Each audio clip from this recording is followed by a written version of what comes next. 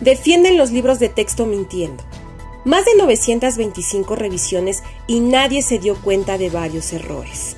Leticia Ramírez, secretaria de Educación Pública, y Marx Arriaga, padre de estos libros, buscaron defender el contenido de los libros de texto. Sin embargo, hubo muchas imprecisiones en sus declaraciones.